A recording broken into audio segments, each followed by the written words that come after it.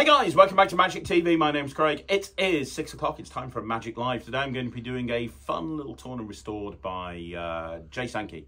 And you can learn this off the, uh, I think it was in his L&L DVD set, probably a million other places as well. It's called Band-Aid. I'm here with Jack. How you doing, Jack? I'm good. Cool. We can do a trick with a pack of cards, all right, buddy? Nice. And I want to see that they're all there. And more importantly, I want to see that they're all different. Happy? Yep. Good stuff. Um, so you're going to pick a card. So as I riffle down through the deck, just say stop. Stop. Nice. Have a look at that card. Do not show me. You can, however, show the camera. Yep. And then put it face down on my hand. Now, if I could, if I could tell you just by looking at this card what your card is, would that be good? Would be pretty good. It's the Jack of Spades. Wow. However did you Years of practice is what that is. I can tell you're not very impressed. I'm going to make it more impressive. Uh, I'm going to create an illusion. Watch this. I'm going to do this. Now, believe it or not, that card is not torn. Yeah, it is. No, it's not.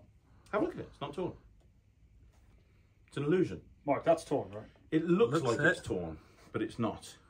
Because you see, as a magician, if something's torn, I can heal it by magic.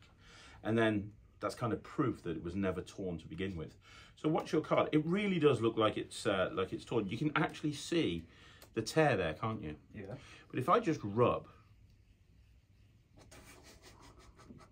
I can I can uh, I can make a band-aid appear on that jack of spades, which technically fixes the card because now it's not torn anymore because it's it's it's bandaged up. But obviously, if I wanted to really fix it, I would snap my fingers. I would take the band-aid off, Ooh. and the card really is fixed. Look at that. It's kind of weird, right? That's very weird. There you go. Have a band-aid. Oh, Merry. Christmas.